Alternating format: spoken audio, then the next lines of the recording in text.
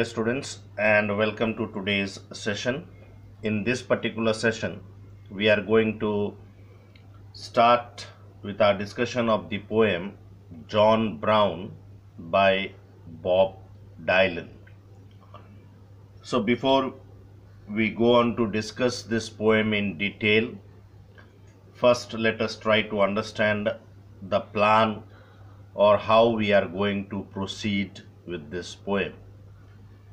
Now, since John Brown falls into the genre of anti war poem, therefore, we'll first try to understand what is an anti war poem, though we had done this while discussing the poem The Gift of India. Then we will have a brief discussion about the poet that is Bob Dylan. Then uh, a brief introduction to the poem, what the poem is basically about. And this particular poem, John Brown, also is a lyrical ballad. So, therefore, in order to understand the poem better, it is important for us to understand what is a lyrical ballad. So we'll discuss that topic as well. Then we move on to the stanza wise explanation of the poem and the critical analysis of these stanzas. Then we go on to the theme of the poem and finally I'll be giving you a note on this particular poem. So in the course of the explanation, if you have any doubt, any queries, feel free to ask in the Google Meet class. So as said earlier, first let us discuss what is an anti-war poem. A war poet basically is a poet who participates in a war and writes about his experiences. It may also be the case that a non combatant, that is, a person who does not participate in the war but writes poems about war or glorifies war, is known as a war poet. While this particular term, war poet, is used to specially apply to all those poets who served during World War I. But the term can also be applied to a poet of any nation writing about any war. So, this war poetry includes Homer's Iliad, which was written around 8th century BC, and the Old English poem, The Battle of Maldon, that celebrated the actual battle of 991, as well as the poetry of the American and the Spanish Civil War, the Crimean War, etc. Now we need to understand that ever since the time of the ancient Greeks, literature has always glorified war heroes. They have made the war seem like something honorable, something glorious, something worthwhile, and they always considered war as a romantic endeavor. For the most part, war, although tragic, was viewed as necessary and in many ways romantic. However, this notion of the people was shattered at the beginning of the 20th century by the horrors of the First World War, which is also termed as the Great War. This war, the First World War, brought about a great change in the minds of the Westerners, or we can say the Western thinkers, who had grown accustomed to the rosy pictures painted by the Romantic and the Victorian authors, painters, and poets. The number of deaths caused by the Great War, the inhuman nature of trench warfare, people used to, soldiers used to, to remain in the trench for days, weeks, and months. So that was very inhuman treatment to those soldiers. The introduction of new deadly chemical weapons such as chlorine gas, the mustard gas, and the conditions under which the soldiers were made to live and fight appeared to be the antithesis of what civilized existence was supposed to be. Thus, we see that a need was felt to write literary pieces to bring forth the true nature of war and the horrors of war. The writers thus started writing poems condemning war and lamenting the loss of innocent soldiers. They started painting word pictures to showcase the gruesome reality of war and the sufferings of the victims of war. They could not find anything glorious, romantic, or heroic in fighting battles, as the famous dramatist George Bernard Shaw puts it in his play Arms and the Man. So, George Bernard Shaw was a very pragmatic writer and he shatters the romantic notion associated with war in his play Arms and the Men. And I am quoting one of the lines from Arms and the Men. He says, Soldiering, my dear madam, is the coward's art of attacking mercilessly when you are strong and keeping out of harm's way when you are weak. That is the whole secret of successful fighting. Get your enemy at a disadvantage and never, on any account, fight him on equal terms. Now, war is often considered to be glorious, to be romantic, to be heroic, to be chivalric. But here G.B. Shaw shatters that notion. He says soldiering to fight is not a brave act. It is not a courageous act. Instead, it is an act of cowardice. Why he considers it to be an act of cowardice is that we attack mercilessly when we realize that we are stronger than compared to our opponent. But the moment we realize that our opponent is stronger than us, then we think it to be wise to avoid any sort of duel or fight. And this is the whole secret of successful fighting.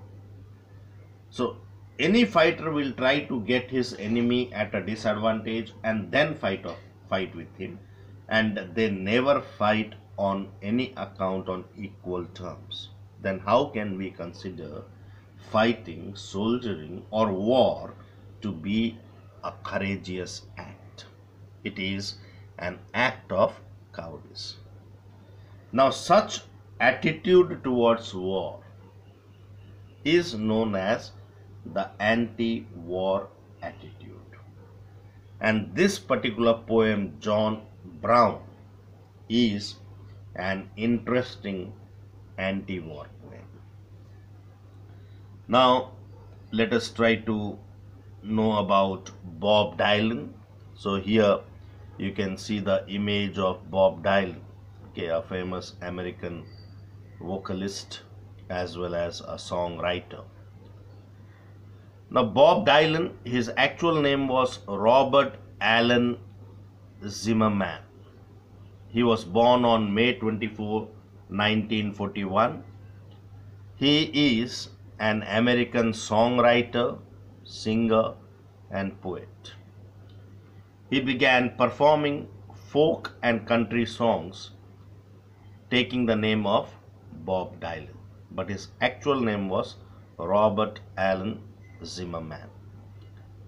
In 1961, he signed his first recording contract and emerged as one of the influential voices in the history of American popular music.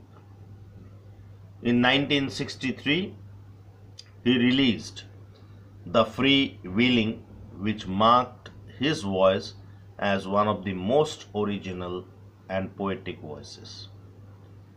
This is the album that included two of the most memorable 1960s folk songs, Blowing in the Wind and A Hard Rain is a Gonna Fall. His next album, The Times They Are a Changing, firmly established Bob Dylan as the definitive songwriter of the 60s protest movement. Much of his famous work, dated from the 1960s, chronicled social un- unrest. They were about the social unrest in America. And Dylan has embarked himself on a never ending tour as a performing artist. He released the studio album Modern Times in 2006, Together Through Life in April 2009, a bootleg album called the Witmark Demos in 2010, a live album titled as Bob Dylan in Concert Brandeis University 1963 was released in 2011 and another studio album Tempest in September 2012. Now, this legendary singer songwriter has received 11 Grammy Awards, a Golden Globe Award, an Academy Award, as well as the Presidential Medal of Freedom. In 2016, he received the Nobel Prize in Literature for having created a new poetic expressions within the great American song tradition. Now, let us discuss about the poem. Now, John Brown, this particular poem, is an anti war song that Bob Dylan wrote in the year 1962. Basically, the poem tells the story of a young man named as John Brown, who proudly marched off to war expecting to find glory, honor, and win medals. But he returned after many months, all shot up. He had a disfigured face and he was barely able to talk.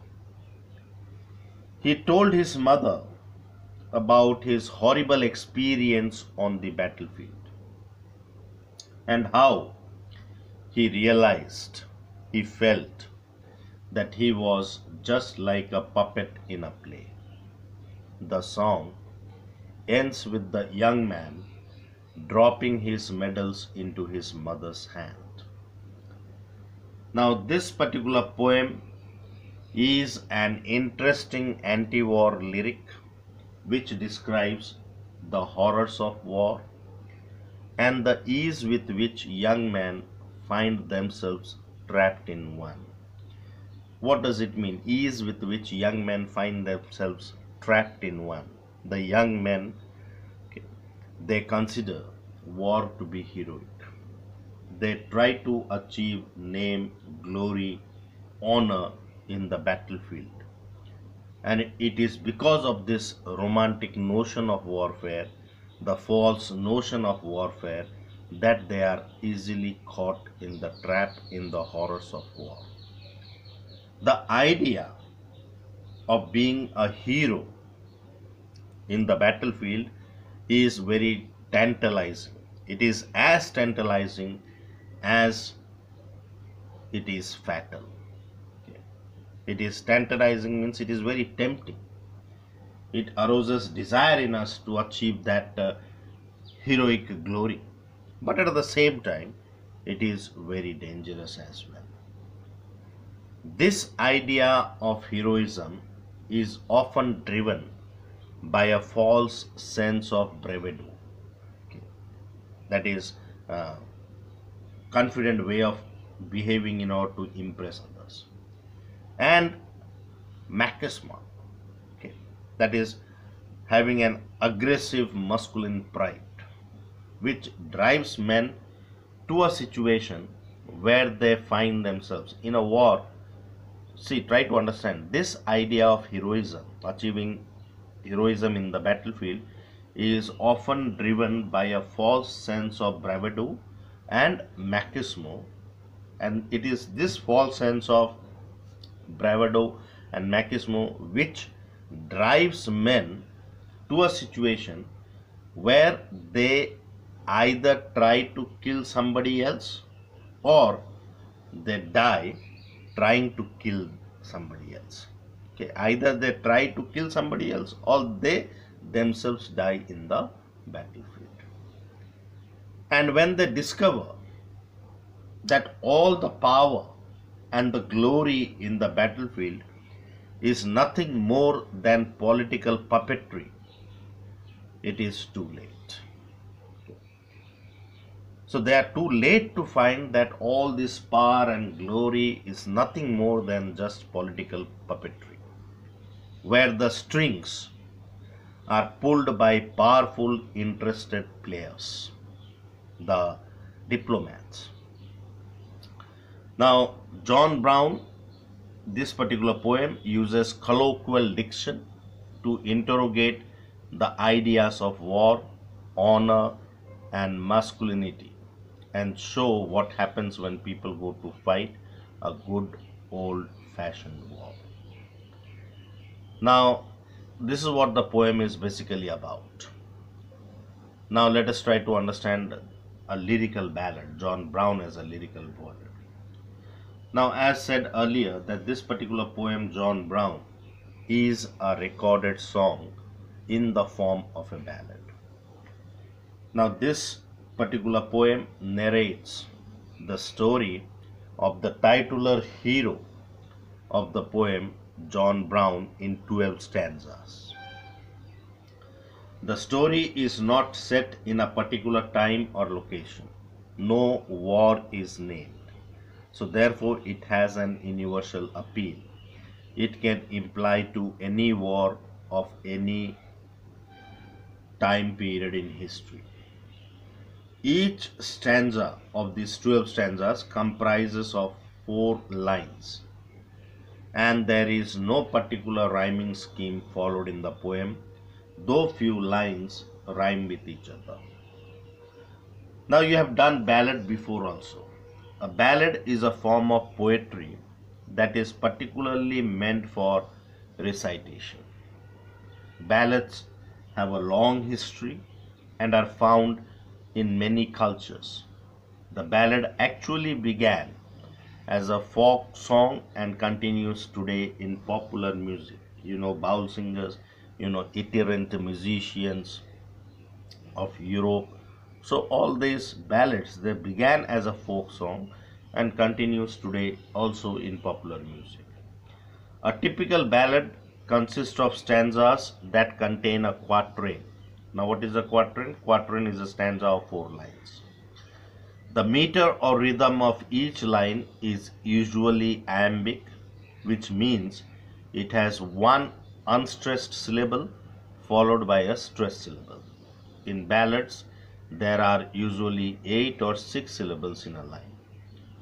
All ballads and narrative in form That is, they narrate a story, they tell us a story. Since ballads are originally set to music, they have refrain, refrain repeated chorus or repeated chorus just like we have in a song. There is repetition and alliteration in order to add to the musical quality of the poem. And the rhyming scheme is often ABAB because of the musical quality. So though in this poem the poet has not followed any particular rhyming scheme, though few lines rhyme with each other, but we'll see how far this poem, John Brown, is a lyrical ballad. Now, these are all the basic things that we require to understand the poem. In the next class, we'll start with the stanza wise explanation of the poem. And I have also given you a song. Please listen to that song. Thank you and stay blessed.